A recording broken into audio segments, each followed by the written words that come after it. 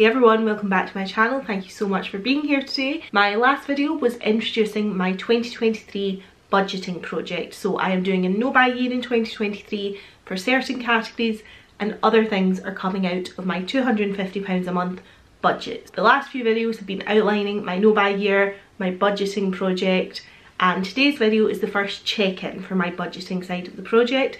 This is my January money diary. I'm aware it's nearly the end of February at this point, but it is what it is. There was a lot of videos to put up to explain and outline things before we could get into the check-ins. So here we are, a little bit late, but let's get on into it. So I will go through it category by category. And the first category that comes out of my budget is beauty services and I spent £35 in the month of January getting my nails done. As you can see I've just got plain nails at the moment that actually I'm getting them done this week because they're now really grown up and needing done again. But with my nails you pay for nail art so I do like getting the nail art but it obviously drives the price up so that was one kind of change that I made this month is that I just got plain nails because it takes the price down so I am, I'm not saying that I'm never getting nail art ever again or anything like that because I do enjoy having it. I like it particularly around holidays or maybe more in the summer months or around Christmas or whatever. I feel like other times of the year I could just have plain nails so that's what I did in January and I'm intending to just get plain nails again this week to try and keep the cost down so that takes my nails from what was kind of 45 to 50 pounds a month generally last year when I was getting nail art down to 35 so a little bit of a saving made there so off to a good start. I didn't spend any money at all on beauty service replacement items or on beauty replacements in the month of January so no spends there. Socialising I spent £43 and 22 pence.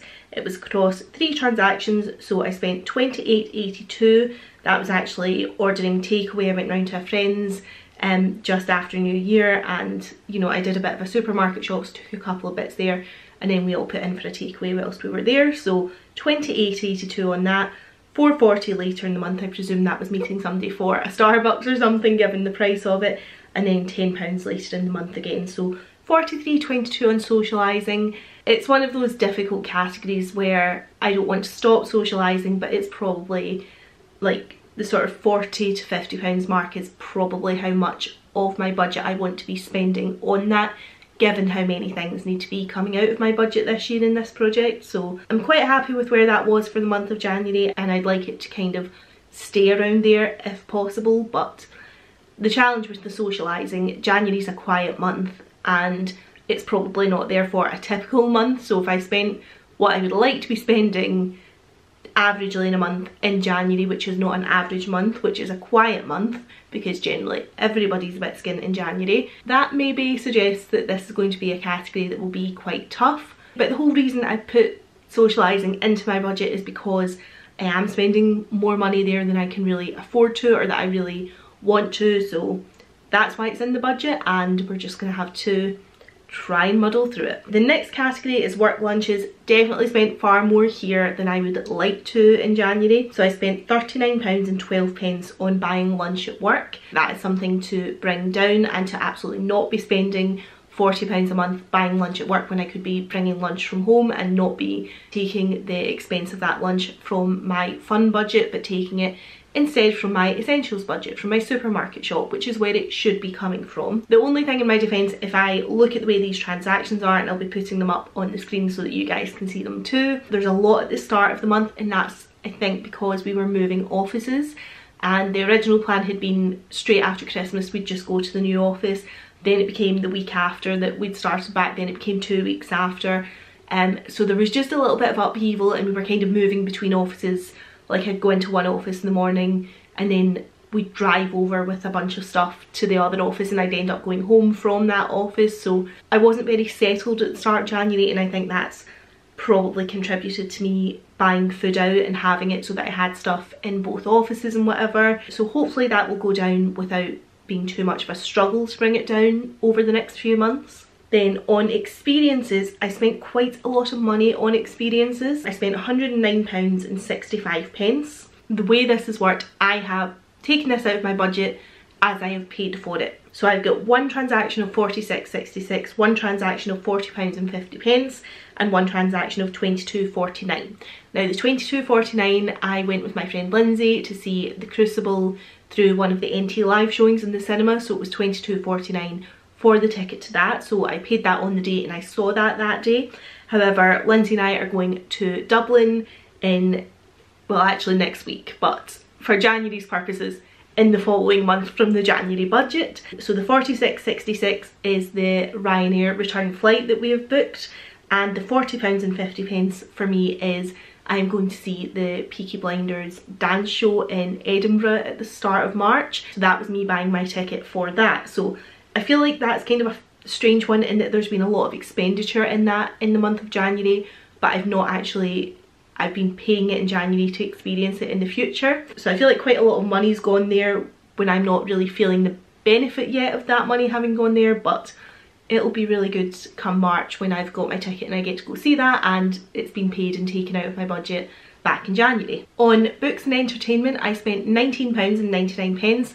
I am really really pleased with that and actually this was a very early indication of the budget working because Waterstones had their January sale on and I had like eight books in my basket and whittled it down and whittled it down and the two books that I bought were Mayflies by Andrew O'Hagan which was 8 99 and Fairy Tale by Stephen King which was £11 so that was a total of two books for 19.99. I wrote them down because I want to track when I am buying homewares or books or beauty replacements when I'm buying physical things from my budget I'm keeping a list of exactly what those things are so that I can return to them. And for the books, I feel like just simply going through the act of creating that list and putting the two of them on it, it stopped me going back and doing another transaction or another I actually bought those books in the shop but it stopped me checking out online with more books just because they were on sale because I haven't yet read both of those books but I think like putting them on that list has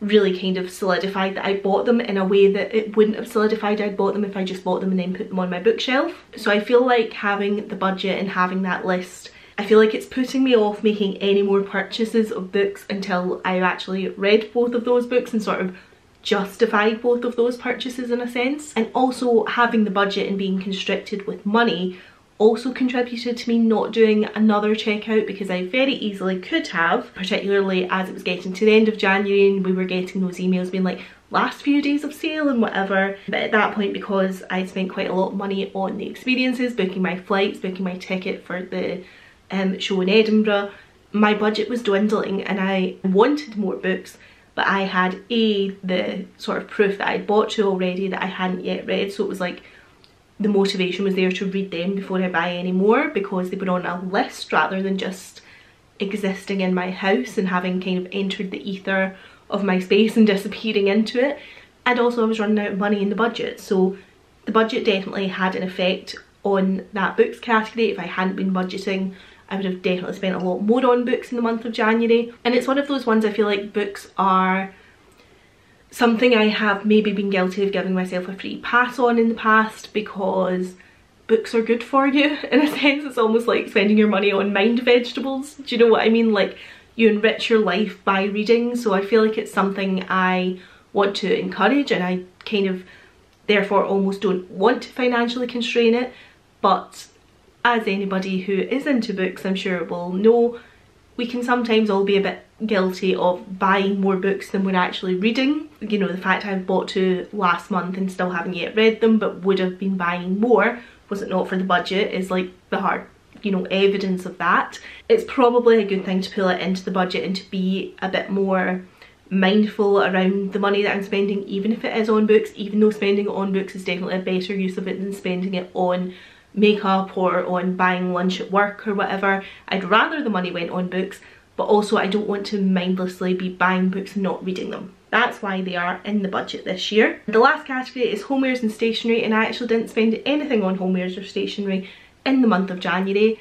That has been a struggle, maybe not so much January actually, but Paperchase is closing down as I'm sure lots of you will know if you're in the UK. So they've got money off things at the moment and that's something I'm struggling with majorly at the moment but that is for my February check-in I suppose. In total my budget spend in January was £246.98. My budget was £250, it was the first month of the year so my opening was a very round £250. So that means I am rolling £3 and 2 pence over into February and opening my February budget with £253 and 2 pence to spend. The only other thing to kind of remark on about January is that I did not get my hair done in January. Got it done quite close before Christmas. But I got it done at the start of February, but I'm also getting it done in March before I go, go away. And I've now got a work conference at the end of April that I'm going to want my hair done for ahead of that conference. So I think it'll be May again before I get a month where I'm not getting my hair done and that's quite a big chunk of the budget. So that was something I was actually trying to cut back on before I started dyeing my hair at home, it didn't end well. It's not something I want to take in-house as such, but that's something I'm a little bit worried about for the next few months is that that's a big chunk of my budget each month, getting my hair done. Um, so that's kind of playing on my mind at the moment.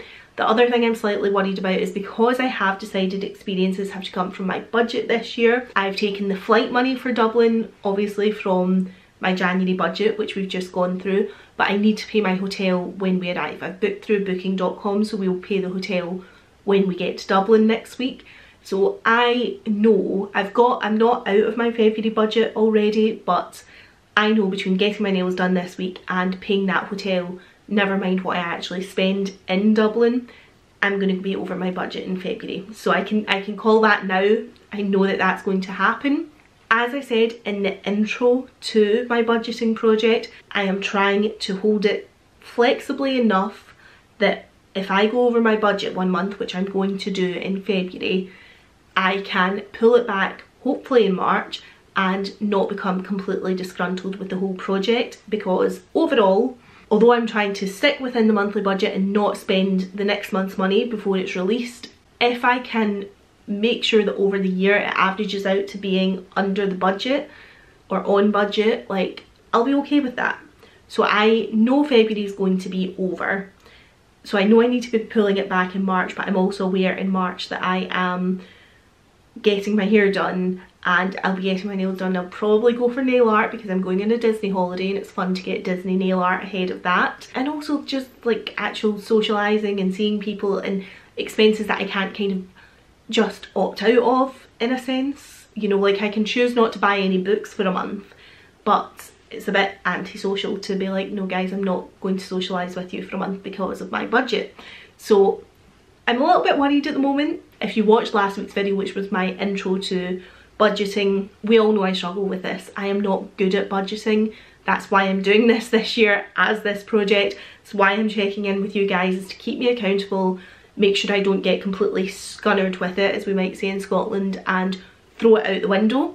I need to keep going with it, but I am I'm already a bit worried. We're, we're at the start, essentially. We're in month two, having just done the check-in for month one, and in terms of a sort of real-time check-in of where I am, I'm worried already. But it is what it is, so fingers crossed I will check in with you once February is done about what those official numbers have been. It is going to be over but we just need to try and pull it back in March and maybe be pulling it back in April as well. See how, how much we can manage to pull back in March. But I am a bit nervous about it. So that's where my headspace is at with the budget. Hopefully that hasn't been too negative for you to end on. Thank you very much for watching this video and I will see you in my next one. Bye!